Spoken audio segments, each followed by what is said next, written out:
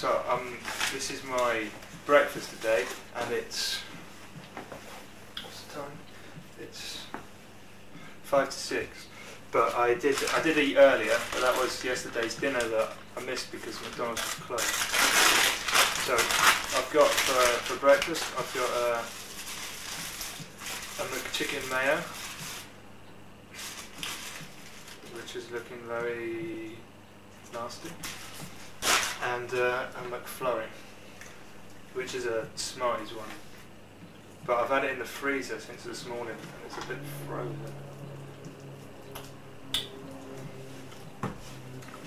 But we've also got some Stellas.